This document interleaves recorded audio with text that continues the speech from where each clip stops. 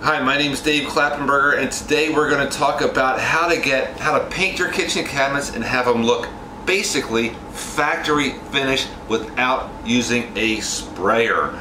I've been doing kitchen cabinets since the early 90s. I've learned a thing or two because I've made a ton of mistakes, but I have a great system that I think is easy for you to implement whether you have experience or you don't without spraying because sometimes it's just not practical for us to be able to spray the kitchen cabinets. Perhaps you live in a condominium. Perhaps you don't know how to use a sprayer and you don't want to rent one. You don't want to buy one. You don't want to figure out how to use it. You just want your kitchen cabinets a new color or get rid of the wood and have it painted to whatever color your heart desires. And this video is going to show you how. Let's get started.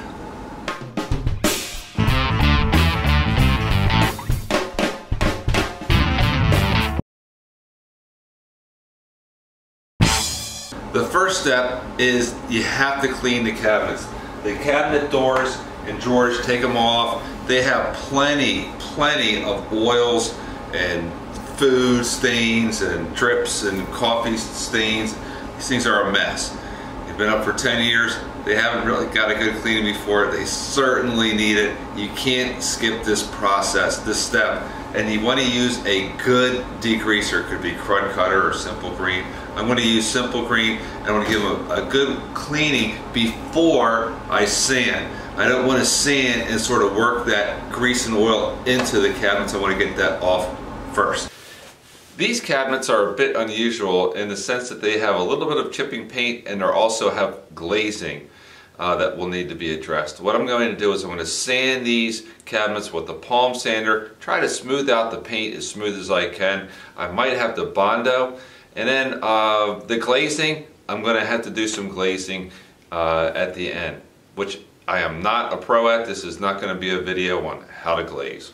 I've gone over with a palm sander um, with some 120 sandpaper, 120 grit sandpaper, and now I want to go over with some 240 to help you know get a little bit smoother and work a little bit in these corners where my sander couldn't get to.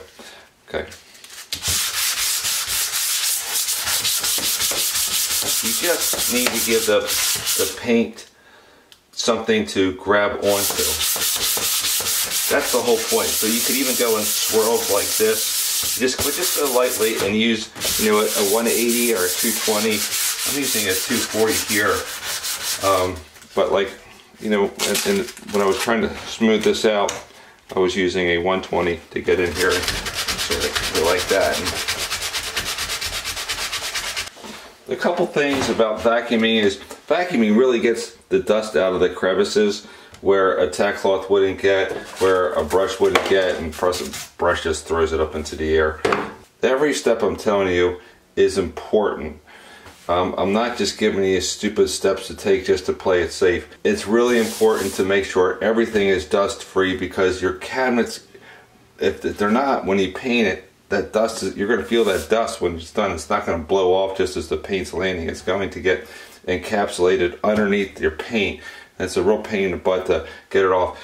It only takes two minutes to vacuum this thing, make this thing nice and clean, and then to go over it with a tack cloth. So let's just, I promise you I'm not telling you any stupid steps. I'm telling you we'll make the cabinets come out looking really, really nice.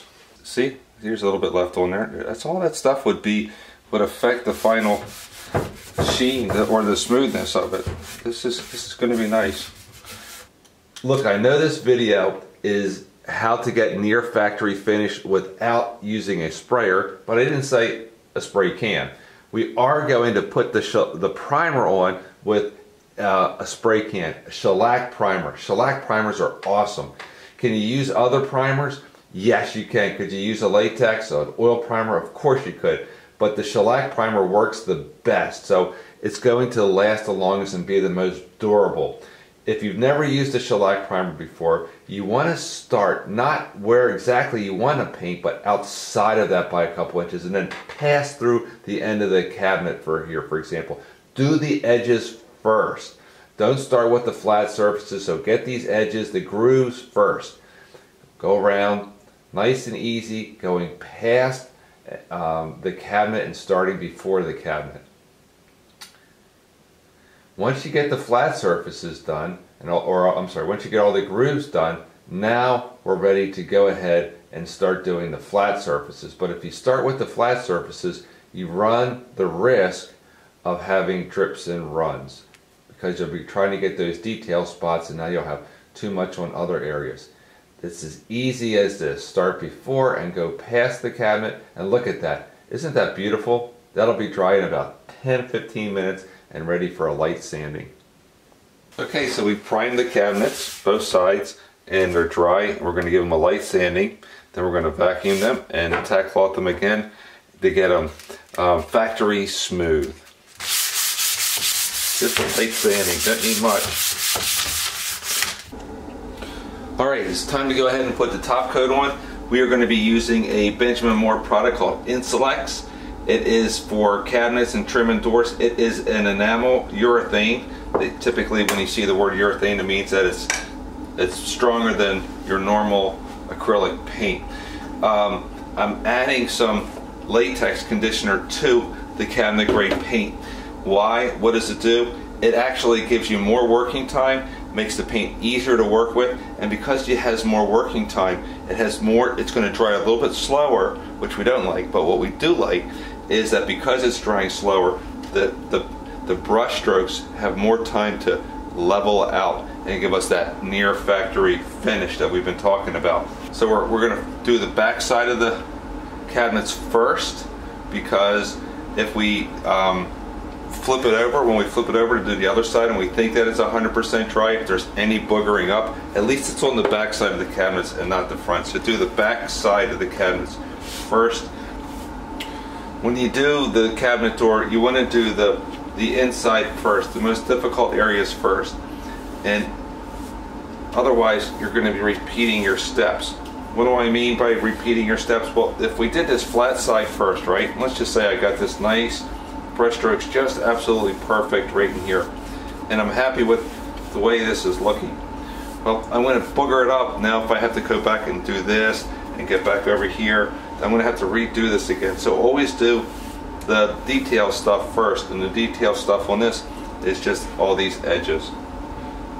Just nice and easy. Let these brush strokes just do their thing, nice and smooth.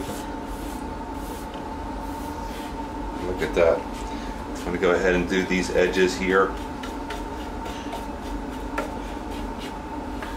Also, one great big piece of advice is get a brand new beautiful brush. This isn't a brand new beautiful brush, but it is a great brush. It's a Wooster brush. Just don't skimp on the brush. You can't get a nice job from uh, a rough, coarse hair brush. Get a brand new brush. They're $13. The extender's $10. These little, the, the tack cloths are 3 or $4. I mean, these, these extra tools that you'll need to do a great job aren't, don't cost much money at all. And they make all the difference in the world. Life's too short to get shit brushes. It's like drinking cheap beer. You're never to drink a beer. Get a, get a good beer for crying out loud I guess that's the best analogy I could give, come up with. I have to work on a better analogy. There you go. How nice that looks. Wait till it dries, it's going to self-level even better. We talk always about sanding it with 220. This is a 500 grit sandpaper. Uh, not easy to get, unfortunately. You could use anything. You can sand with cardboard if you want. It's very smooth. And when you go over it, there's a big difference um, it, it, makes a big difference. Uh, this is smoother than this. It's, def- it's, this is factory finish smooth. If you go over it with, with something around 500 grit sandpaper and just just go like that with it, doesn't take a whole lot of sanding, and it really makes a big difference. And then again, we're going to take a tack cloth and and uh, get the ditties off. In fact, first I'm going to vacuum it and uh, then I'll tack it off and then I'll give it another coat of paint. That'll be the last time I have to sand this. This is as smooth as, as anything will possibly get.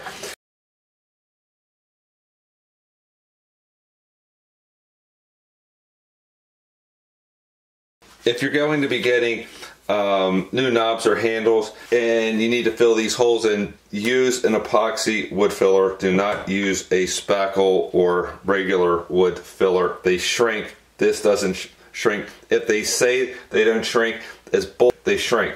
So don't um, don't use it.